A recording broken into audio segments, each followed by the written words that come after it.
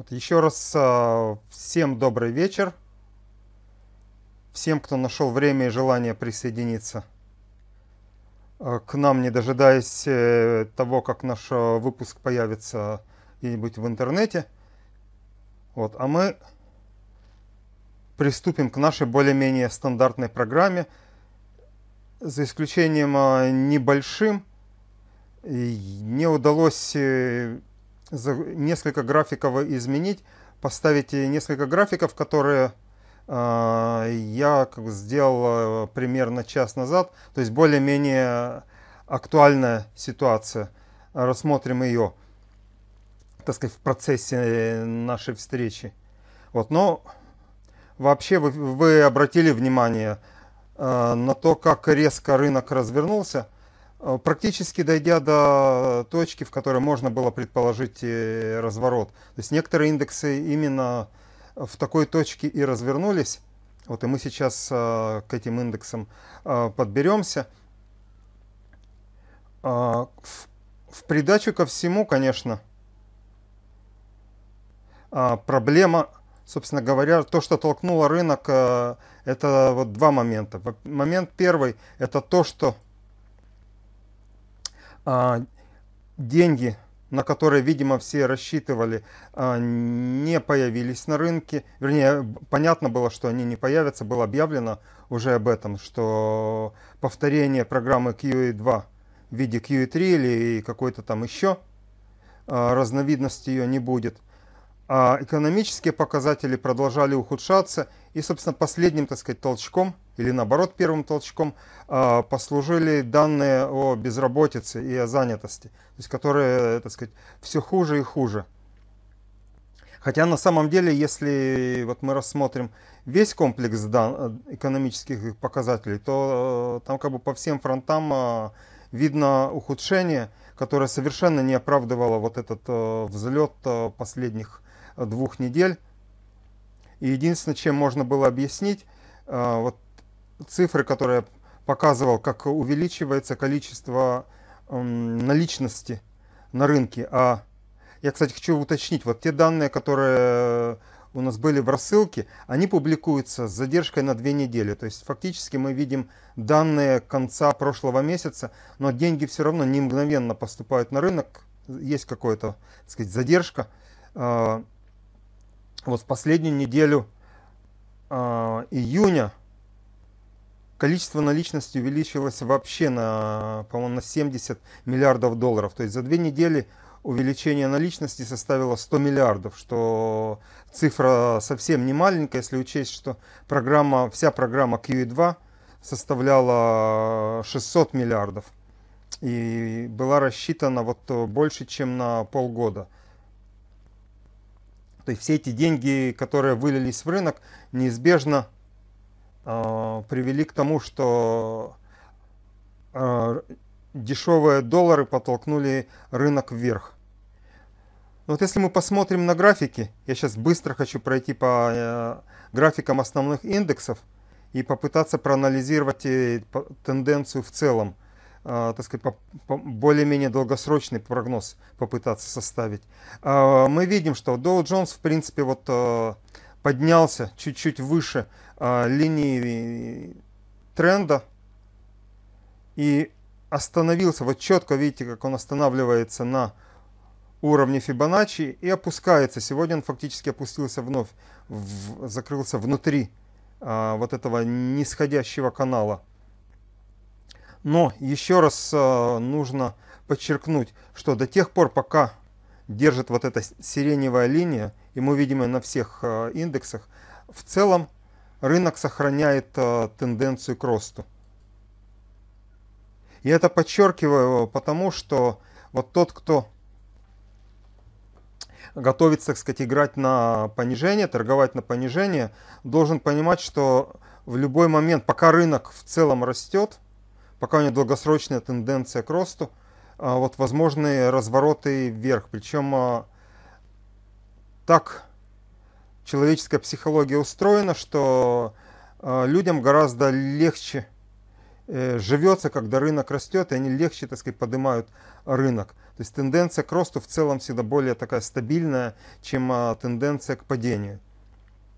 Вот а, транспортный индекс, он, собственно говоря, первым а, пока добрался до вершины и, и, развернулся вниз, подав, в общем-то, сигнал того, что, к тому, что за ним последует и весь рынок. И разворот его был гораздо более сильным, чем остальные индексы. Вот. Мы, можно обратить внимание также вот еще на что. На индексе относительной силы формируется, сформировалось отрицательное расхождение. На МАГДИ мы этого не видим, ну или по крайней мере пока не видим, но это уже первая ласточка того, что а, индекс перегрет и приближается к серьезному развороту. Полупроводниковый индекс еще раньше добрался до вершины. Вот видите, это линия, это красная линия, это линия сопротивления нисходящего тренда. Вот построена параллельно этой синей. Видите, он добрался, в общем-то, на день раньше остальных и тут же уже развернулся. Вот, ну, на самом деле про него, в общем-то, больше нечего сказать, кроме того, что, вот, еще раз подчеркнуть, что индекс в целом указывает на то, куда пойдут более тяжелые технологические акции NASDAQ. А за NASDAQ, как правило, следует и SPX. Вот, но здесь мы видим, а, вот мы видим а, индекс компаний малой капитализации, вот он фактически поднялся к линии сопротивления горизонтальной и тоже остановился и, и начал разворачиваться вниз вот еще накануне. Вот, но сейчас я хочу перескочить, сейчас я быстро хочу перескочить, а потом вернуться. Вот э, к этому разделу, где попытаться проанализировать, что вообще говоря происходит на рынке, имеем ли мы дело с каким-то вот временными колебаниями или более такой долговременной тенденцией. Первое, обратите внимание, это недельный график, э, и построен он на вот, я использовал здесь, что не часто делаю, логарифмическую шкалу. И здесь мы видим две интересных вещи. Ну, во-первых, вот формирование медвежьего клина, который один из них уже был пробит. Вот синие сплошные линии формировали медвежий клин, и мы видим, что он был уже пробит. А, индекс опустился и сформировал вот еще одну линию поддержки. И мы видим еще один медвежий клин. Вот красная штриховая линия и вот эта синяя линия, новая линия поддержки, вновь образуют э, медвежий клин. В общем-то, для того, чтобы этот клин, так сказать, был действительно клином, э, индекс должен подняться еще раз до вот верхней границы и после этого вернуться, так сказать, пытаться э, пробить линию поддержки. Обратите внимание, в любом случае у нас есть как бы несколько линий поддержки восходящего тренда. Вот линия, которая начинается от э, марта, это, э, нет марта, от, я извиняюсь, от июня 2010 года. Вот одна, точнее две таких. Одна вот эта синяя сплошная, вторая синяя штриховая. И линия, которая идет вот от марта 2009 года. Вот такой очень широкий ценовой канал. Скажем так, до тех пор, пока индексы не опустились до и не пробили эти линии поддержки, в целом мы можем рассматривать рынок как рынок восходящий. Но нужно обратить внимание на накопление медвежьих тенденций. Первая вот, хорошо видна на индексе относительной силы, который формирует вот эту нисходящую линию тренда. Перекупленность по всем индикаторам – как Арун, так и стахастики перекуплены.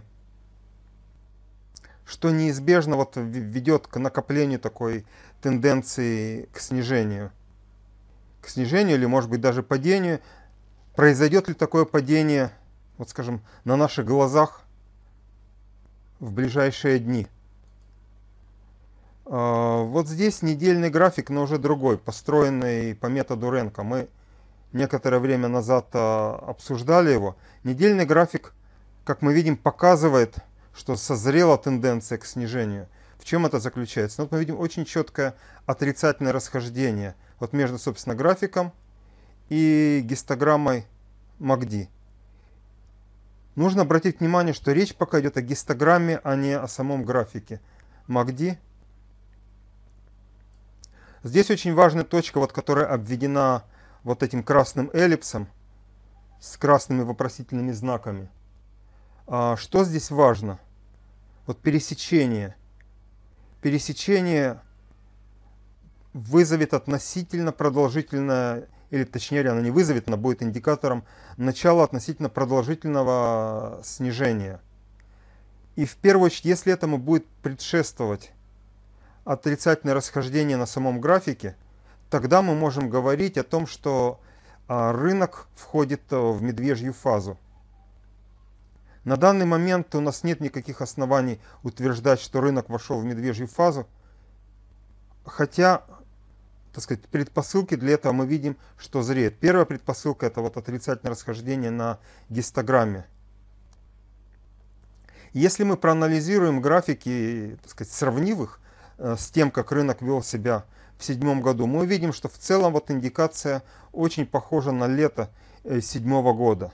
То есть, когда уже зрела, как бы э, накапливалась индикация к развороту, но был еще один последний всплеск, и рынок развернул, развернулся фактически в октябре. Первая вот разворотная точка, первый разворотный сигнал поступил вот, вот здесь фактически, он был в октябре, и ему предшествовало отрицательное расхождение вот на графике, видите, это красная черта, на графике МАГДИ и на графике цены. Вот. И еще один график, так сказать, такой, построенный для прогноза, это график, здесь сведены несколько инструментов Fibonacci, которые показывают э, вот такие потенциальные, э, скажем так, контрольные точки – ну вот мы видим в этой точке, где как раз индекс развернулся, а, накладывались два луча а, веера, построенные как бы из разных точек. И в этой же точке проходил а, один из уровней Фибоначчи. Вот эта красная линия, это уровни Фибоначчи, построенные от вернее, скажем так, вот синяя линия это уровни Фибоначчи построены от максимума седьмого года к минимуму девятого года, а красные вот построены от э, 1 трети вот этой первой группы и до вот этого максимума. Мы видим довольно четко, как рынок э, останавливается вот на точках пересечения э, вот различных инструментов Фибоначчи. Куда, в принципе, он может пойти? Где у него вот потенциальные другие контрольные точки. А, скажем так, две точки. Первая область, я сейчас это обведу цветом, я думаю, красный цвет вполне будет подходящий. Первая, собственно, я бы, я бы сказал, что вот эта вот область вся, это та область, за которой нужно внимательно-внимательно следить, вот в районе 1225. Здесь может быть довольно сильно падение. Видите, здесь одновременно проходит несколько периодов Фибоначчи, несколько а, лучей веера и одновременно уровень Фибоначчи. То есть очень-очень такая большая вероятность того, что именно в этой точке может произойти разворот. И обратите внимание, что если мы построим, скажем, вот так тенденцию сюда, то она также может привести в эту точку. Разумеется, может не означает, что она действительно в эту точку приведет, но именно в этой точке наибольшая вероятность а, снижения, именно снижения до этой точки. И это интересно вот чем. Обратите внимание, это начало августа. Начало августа, может быть, самый конец июля. Что здесь интересного? Интересно тем, что именно в начале августа должно быть принято решение, собственно, что делать с американским государственным долгом. Будет ли объявлен технический дефолт или будет найдено решение, будет поднята, так сказать, планка госдолга и каким-то образом финансовая система выкрутится. И потому что если как бы, решение не будет принято, то фактически что это будет означать? Будут прекращены выплаты по американскому внешнему долгу, ну, по, фактически по гособлигациям. Будут прекращены или урезаны всевозможные государственные социальные программы, там, в виде медицинские программы всевозможные, будут урезаны каким-то образом программы помощи безработным, зарплата госслужащих и так далее, и так далее. В общем, ситуация, мягко говоря, очень плохая, вот, и которая сама по себе, то есть попросту не будет денег у людей в виде зарплаты, соответственно, люди не будут покупать, и экономика попросту перейдет э, в пике.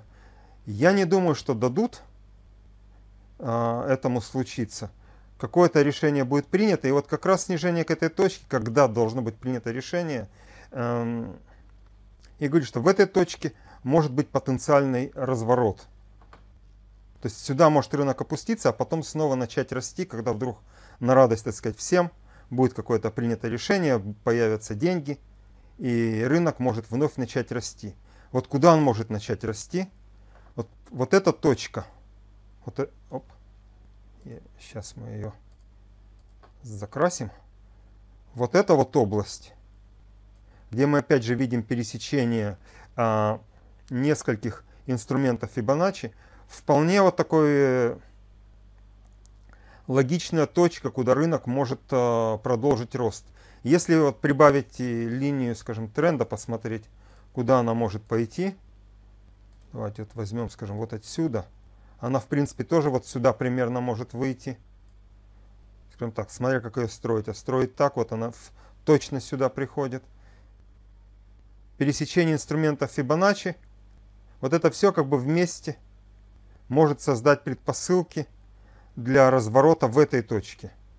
И в этой же точке вполне возможно сформируется то самое отрицательное расхождение – которого мы, которое мы на данный момент не видим. Поэтому в качестве вот такого заключения я хочу сказать, что вероятность, большая вероятность того, что рынок пойдет вниз в эту точку. Давайте как стрелкой нарисуем. А после этого пойдет вот в, эту точку. Скорее всего, это будет э, точно так же, как и сейчас, не, прям, не прямолинейный процесс, а вот такие колебания. И это, кстати, очень согласуется, обратите внимание, с волновой теорией. Мы видим здесь э, трехволновую такую корректирующую тенденцию. То есть коррекция, э, если верить сказать, теории Элиота состоит из э, трех сказать, волн. Вот была первая волна, вторая волна и третья волна, вот, которая может привести вот сюда. Вот обратите внимание, что кроме всего прочего, здесь еще и очень сильная линия э, сопротивления, поддержки. В общем-то, есть и другая линия, которая вот здесь проходит. Вот эта линия может привести к тому, что рынок остановится чуть-чуть раньше этой точки, о которой я говорю, но главное не столько точка, сколько вот эта область, за которой нужно пристально следить.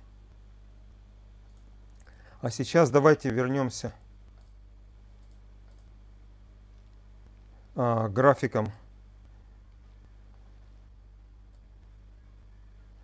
Вот я как отдельно при случае объясню, что, что за синие сплошные штриховые линии я нарисовал, но чуть позже. А, а сейчас просто это более крупно. Мы видим SPX, дневной график. Мы видим, как в принципе он приближается уже а, к точке потенциального разворота. Вот здесь. и какой-то некоторой коррекции. Насколько сильная будет коррекция, насколько она будет сильная не только с точки зрения падения цены, но и с точки зрения а, объемов, на которых будет происходить, а, мы увидим а, скажем так, чуть позже. Но самое главное, на что нужно сейчас обращать внимание, когда э, мы будем искать точку, где рынок может остановиться, это вот первое, это линия сопротивления тренда. Вот видите, это линия синяя. Вот, и где у нас эта область может быть? Давайте я отмечу зеленым. Она может, в общем-то, быть примерно вот в этой области. Обратите внимание, здесь совпадение линии тренда Здесь вблизи проходят э, уровни Фибоначчи. И вполне возможно, что 200-дневная средняя, это красная линия, она также придет примерно в эту область. Вот дневные графики я успел построить э, примерно, ну, уже полтора часа назад. Обратите внимание, что происходило – если, это часовой график, если вот накануне мы видели только формирование, в конце недели формирование медвежьего клина, и этот медвежий клин, так, это мне не нравится цвет, он не подходит, а, нарисуем его красным цветом. Вот здесь формировалось отрицательное расхождение – вот видите, на индексе относительной силы и на МАГДИ. Говорится, сам технический анализ велел рынку здесь э, развернуться, и он очень успешно индекс э, пробивает линию э, сопротивления, линию поддержки вот этого медвежьего клина и падает. Вот этот небольшой рост в конце предыдущего торгового дня – сформировал не что иное, как медвежий флаг. Классический медвежий флаг, после которого мы видим продолжение падения. А вот этот рост мы видим классический, опять же, формирование пяти а, волновой траектории. Именно здесь заканчивается, сказать, пятая волна. Вот, и начинается, собственно говоря, а, корректирующее падение. Пока что падение происходит в пределах восходящего ценового канала. Будет ли он пробит э, и пойдет ли индекс вниз, увидим чуть позже. Но пока обратите внимание, в целом краткосрочные индикаторы показывают, что он уже находится в перепроданности. Поэтому возможен некий кратковременный подъем, но такие более медленные индикаторы. Вот очень важные для индикации изменения тренда это 144-часовой а, индикации. Вот так.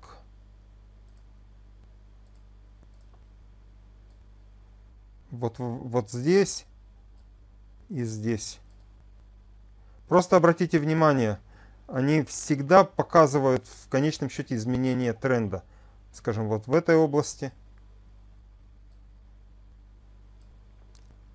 Вот здесь была индикация изменения тренда. Хотя в данном случае, скажем, мы видели, под начало показывал а, Арун, а 120, 144 часовой индикатор уже его фактически подтверждал, что это не просто всплеск, а тренд э, изменился. А, вот интересно выглядит 10-минутный э, график. Ну, естественно, мы видим здесь тот же самый а, пробой. Мы видим здесь более такой узкий, более быстрый, что ли, а, медвежий клин, который был пробит, и вслед за ним был пробит, а, пробита линия поддержки. Тренд фактически здесь разворачивается. Мы здесь видим, что сформировался вот внутри того восходящего канала, о котором мы, мы говорили, сформировался узкий нисходящий одновременно, в общем-то, формируется бычий клин. Продолжится формирование бычьего клина или нет, мы опять же увидим чуть позже. Но обратите внимание, 10-минутный график уже перепродан по всем индикаторам. То есть уже вот сейчас, в данный момент, начинает накапливаться, скажем так, сила, которая толкнет рынок вверх. А, я сейчас, сейчас было бы как раз интересно посмотреть на то, как ведет себя в данный момент а, индекс волатильности, но здесь мы просто видим классическую картину, которая, собственно, мы раньше отмечали, что индекс волатильности опускался ниже нижней полосы Боллинджера и закрывался внутри, что было индикатором. Обратите внимание, практически за неделю он показывал, давал индикацию разворота рынка э, начала снижения. Здесь мы, собственно говоря, это и увидели.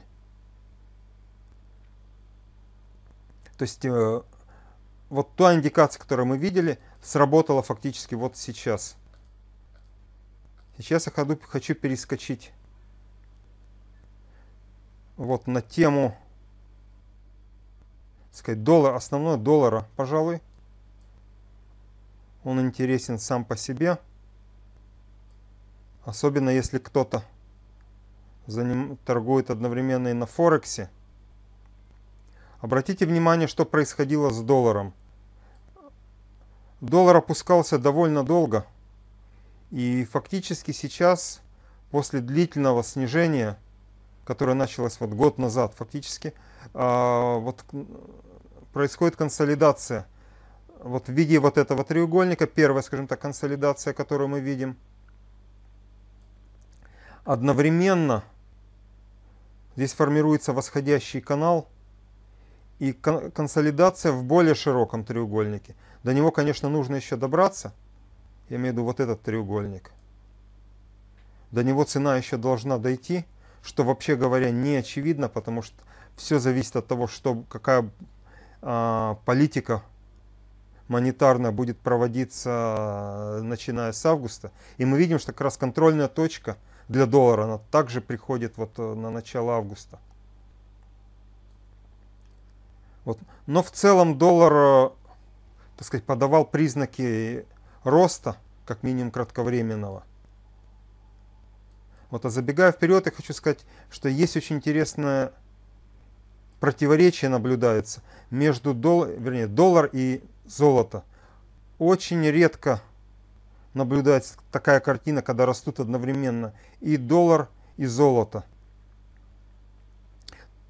То есть создается впечатление, что э, доллар растет, потому что ожидается, что вот эти программы всевозможные печатания денег э, не будут продолжены. А золото растет, потому что в целом падает доверие к доллару как к платежной системе, раз. И во-вторых, а доллар, э, скажем так, и доллар, и акции перестают быть, ну, вот таким убежищем рынок не знает, куда, пойдет, э, куда пойдут акции, куда пойдет доллар, и вкладывают деньги в, в то, что считает наиболее надежным, то есть в золото. Целом мы видим вот это колебание, которое было в конце недели, и доллар, вообще говоря, в рамках вот этого нисходящего коридора формировал э, э, медвежий клин небольшой с небольшим Вот здесь видно небольшое отрицательное расхождение, но при этом у него формировалась вот э, тенденция как бы вверх. Здесь и фактически вот здесь мы тоже видим формирование тенденции к росту. И по стахастикам доллар тоже находится на часовых графиках, как бы показывает на потенциальный рост. То есть вполне возможно кратковременное, по крайней мере, продолжение роста доллара – Здесь мы видим вот, а, тоже интересная картина. Доллар консолидируется вот в рамках... Здесь пока трудно сказать, какая из фигур победит. Здесь мы видим с одной стороны консолидацию вот в рамках этого треугольника, которая может привести к брейкауту на какой-то момент. Но с другой стороны есть консолидация в рамках вот такого клина. Какая из э, фигур, скажем так, победит, э, увидим в ближайшее время. Но в целом накапливается тенденция к тому, что доллар через какое-то время, видимо, снова начнет снижаться. Вот обратите внимание на отрицательное расхождение между вот этими максимумами и максимумами на MACD. И перепроданность по стахастикам показывает, что доллар в очень, так сказать, э, в ближайшей перспективе может остановиться и начать снижаться. Вот, но сегодня все металлы,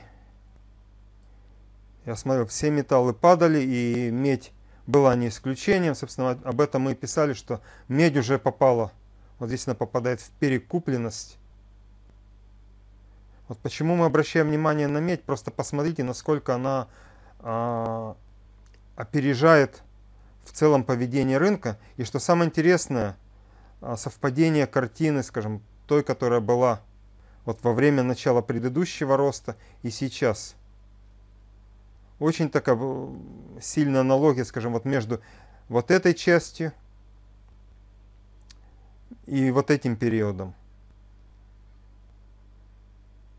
Вот, скажем, а, оп, обратите внимание, вот этот период и этот выглядят очень одинаково. Одновременно как бы пробой треугольника, который мы видели – похож на пробой, который был в этой точке.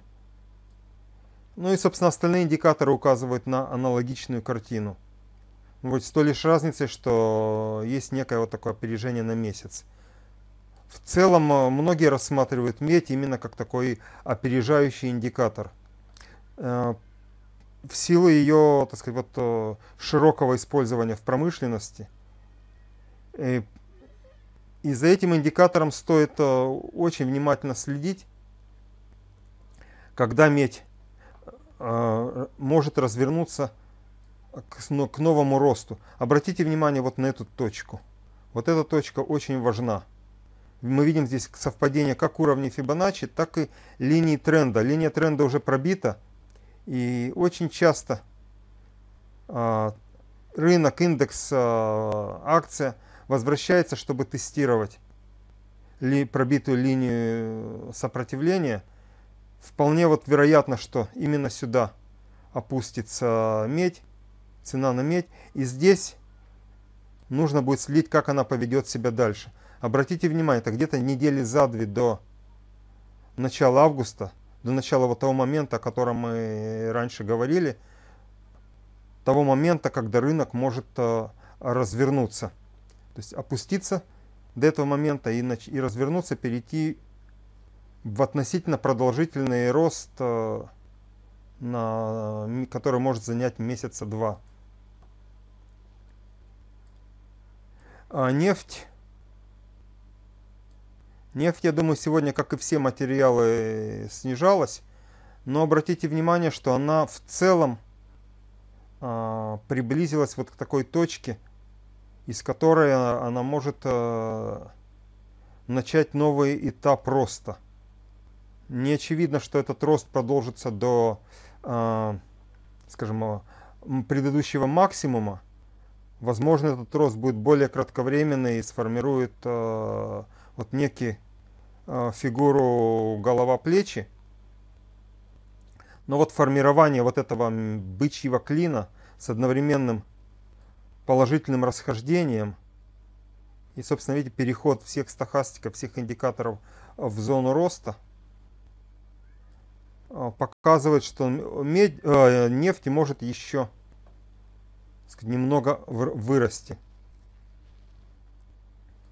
Хотя не исключено, что все вот меры, которые принимались э, а, для того, чтобы уменьшить инфляцию, на каком-то этапе ударят именно по нефти. Сегодня, по-моему, нефть снижалась очень сильно, там порядка полутора-двух процентов.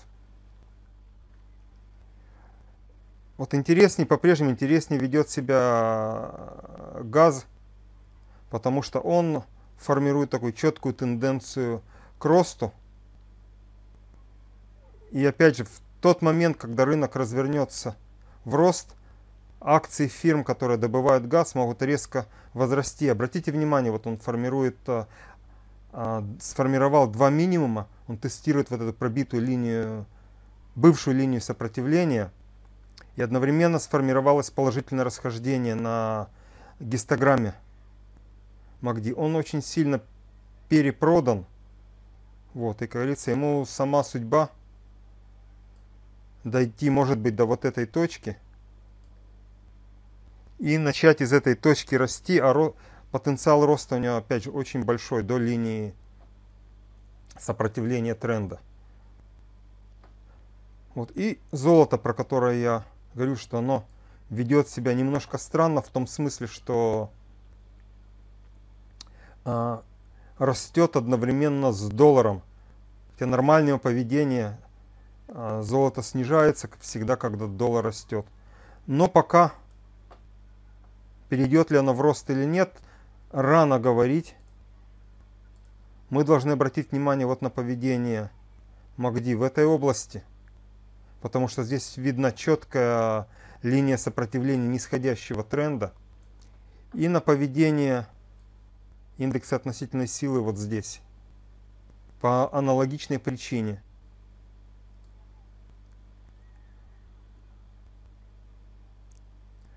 В целом золото, вот как э, мы видим, оно переходит в рост на полном стахастике и на медленном стахастике. И перешло в рост на индексе относительной силы, что говорит, что в целом есть очень большая вероятность того, что золото продолжит э, свой рост. Ну, серебро практически вело себя так же, как и золото. Обратите внимание на пробитую линию сопротивления и на, и на вот формирование тенденции на индексе относительной силы и на МАКДИ одновременно с формированием положительного расхождения. Трудно сказать, сможет ли подняться серебро до того спекулятивного пика – который был, сформировался в августе.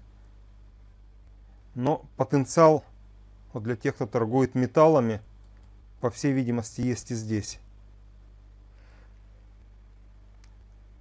Вот, и сейчас я хочу перейти к последней части. Это акции, которые, по нашему мнению, могут сделать э, а, хороший прорыв Некоторые, возможно, в самые ближайшие дни могут совершить такой прорыв. Некоторые, а, скорее всего, будут ждать вот до изменения тенденции, но вот это вот накопление силы, так сказать, прорыва а, наблюдается уже сейчас. Первая акция это вот э, это ее тикеры. Меня просили отдельно писать. Что здесь как бы интересно? Интересны, в принципе, две вещи. Вот колебания, видите, формирование очень такой длинной, очень продолжительной линии сопротивления. В течение где-то уже месяца акция пытается, так сказать, эту линию сопротивления преодолеть. Она вообще говоря, вот обратите внимание, появляются признаки роста. Они пока как бы накапливаются. Фактически вот это вот формирование, а, мы здесь видим а, вверх Фибоначчи, и видно, что вот второй его уже луч здесь пробивается. И еще один момент, на который стоит обратить внимание. Я на части графиков указывал это. Есть такое понятие, наверное, вы с ним знакомы, short squeeze. Оно означает резкий всплеск цены – когда а, происходит а, закрытие коротких позиций. Обратите внимание на то, что вот к началу, так сказать, в конце недели а, количество так сказать, опций, путы, так сказать, акций, которые шортили, практически совпадало с дневным объемом. И закрытие этих, этих шортов должно быть и, вот сегодня-завтра буквально, в самые ближайшие дни. И закрытие шортов, если акция немного подымется, может просто привести вот к такому всплеску цены. Это не значит, что акция развернется и начнет расти, но сам всплеск может быть достаточно сильным, потому что очень большое количество э, открытых коротких позиций. Вот еще одна акция, э, которая характеризуется тем же самым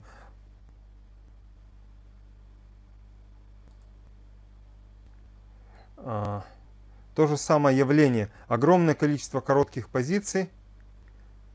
Остается очень мало времени для их закрытия.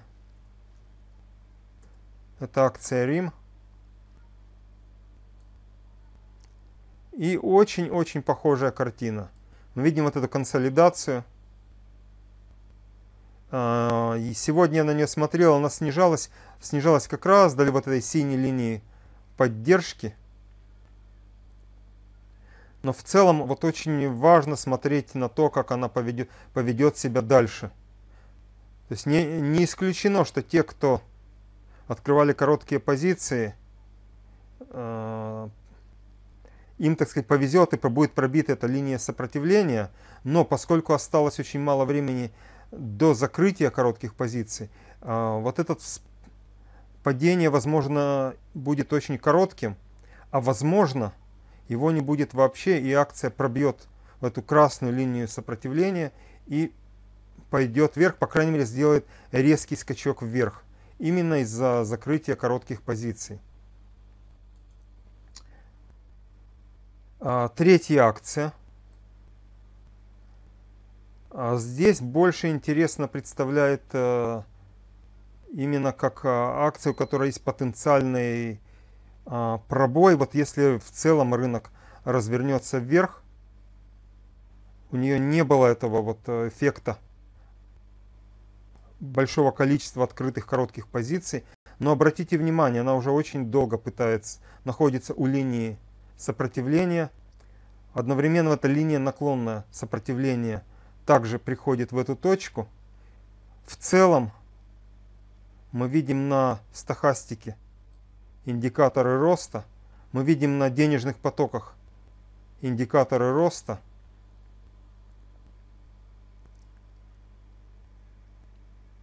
Потенциал роста такого скачка, скажем так, у этой акции, это вот э, точка, где пересекаются средняя линия вот, и линия э, 50-дневная средняя, если мне память не изменяет. У нас 50-дневная синяя пунктирная, да. И экспоненциальная средняя, а, это у нас 43-дневная, самая медленная. А, обратите внимание, кстати, что, как правило, в качестве экспоненциальных средних мы используем а, вот не те стандартные значения, которые предлагают обычные торговые платформы, а а используем те, которые основаны на числах Фибоначчи, потому что они как раз отражают э, то, собственно, что такое средняя линия. Это то, э, как рынок, как трейдеры смотрят на акцию. Считают ли они, что акция дорогая или что акция дешевая, и как быстро они меняют свое мнение. А поскольку мы говорим о, обо мнении трей, трейдеров, о их оценке, психологической оценке акции, то нет ничего лучше, чем использовать и, и правильней э, не какие-то округленные числа, которые взят, там, скажем, продолжительность торгового дня или торговой недели, а именно числа Фибоначчи. Так, это у нас была акция SMSI.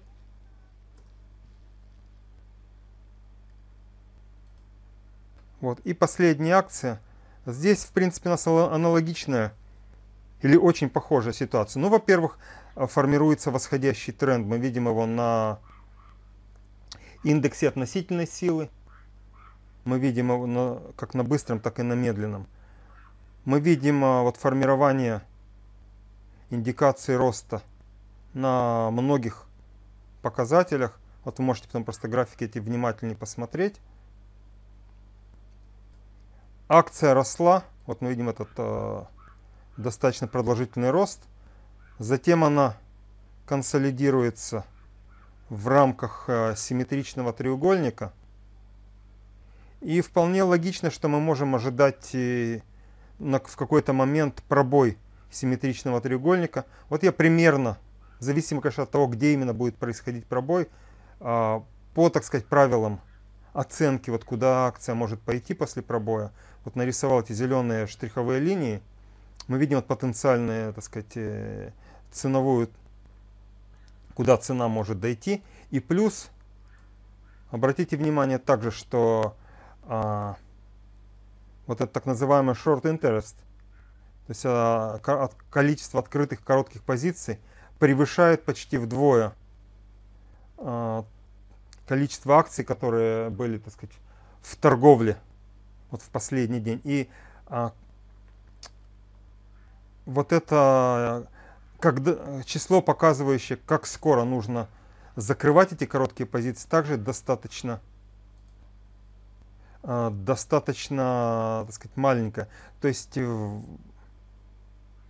если будем говорить так, не произойдет э, чего-то из ряда вон выходящего, то трейдеры, которые играли на понижение, будут вынуждены быстро закрывать короткие позиции. Соответственно, цена может резко подскочить, и мы на этой акции можем увидеть вот то, что называется short squeeze. В данном случае, в отличие от предыдущих акций, где возможен а, скачок и с последующим откатом, здесь мы видим а, так сказать, классический breakout. То есть мы видели восходящий тренд, консолидация после тренда, пробой линии сопротивления вот, э, фигуры консолидации, который может привести нас, грубо говоря, за две недели вот примерно так сказать, на этот уровень. Здесь на графике трудно увидеть, куда, но это порядка, порядка наверное, 20-30% потенциальный рост. Это у нас была акция VVTV.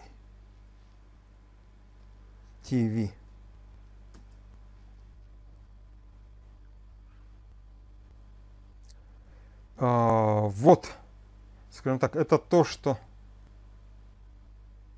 на сегодня я хотел обсудить. Я надеюсь, что вы получаете вовремя рассылки с акциями, с графиками и с анализом. И вот небольшое по этому поводу объявление. Возможно, просто из-за ряда организационных причин, по ряду организационных причин, э, в следующий раз и, возможно, в след... несколько следующих так сказать, недель мы будем посылать только акции, только графики без э, каких-либо комментариев, но чуть-чуть раньше. И на самих встречах мы будем уже обсуждать в деталях. Возможно, мы просто сделаем даже саму встречу чуть-чуть длиннее, потому что а, у вас не будет перед глазами а, обсуждения, анализа графиков. А, вот.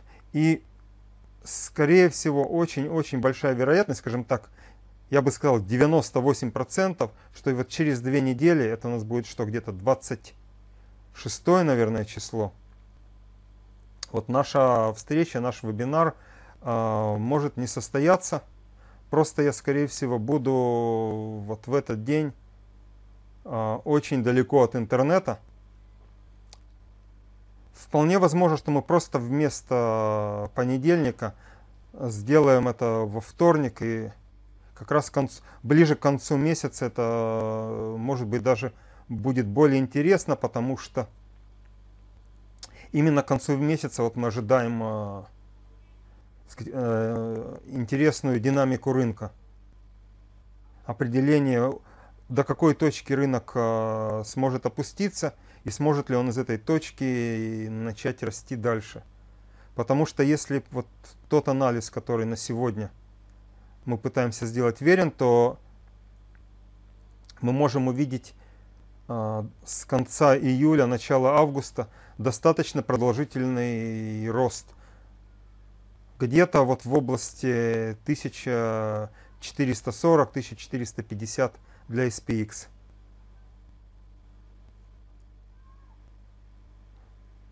Вот, на этом я сказать, свой монолог заканчиваю.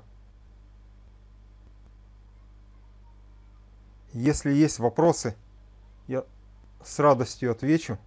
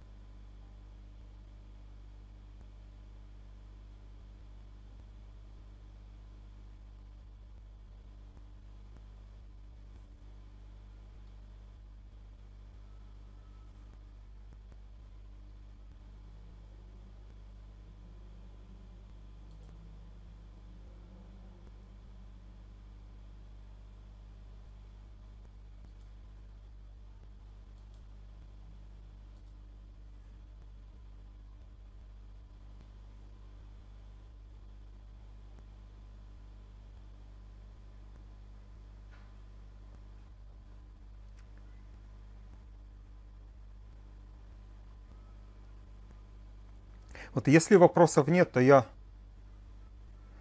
желаю всем хорошей недели, успешной недели.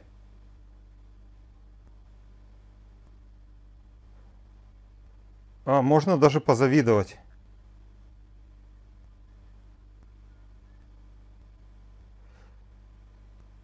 А, я давно собирался в те края поехать все никак, э, все какие-то другие поездки отвлекают меня. А, ну, вообще говоря, да, вот существует вероятность 1200, но я не... Насколько большая вероятность, я не знаю. Честно говоря, вот я смотрел и пытался применять другие индикаторы, другие инструменты Fibonacci. Вот, на мой взгляд, мне казалось, что а, вот э, та точка, которая была вот примерно вот здесь, 1270, скажем, грубо говоря, это может быть 1000, да, порядка 1270. Это вот э, минимум, который был достигнут. Вот поэтому я пока ограничивал бы, так сказать, свой э, пессимизм реально этой цифры, а не, скажем, 1200. А вот подъем в район в район 1400, 1440-1450, мне кажется вполне реальным, если произойдет вот разворот в этой точке. То есть очень много индикаторов указывает именно на эту точку, именно вот на эту область.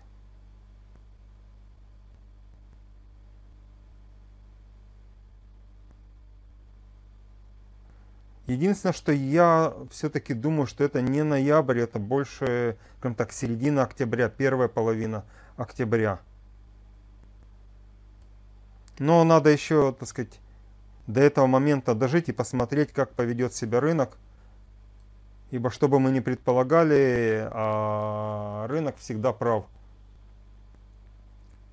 Он лучше нас решит, где ему разворачиваться и куда идти дальше.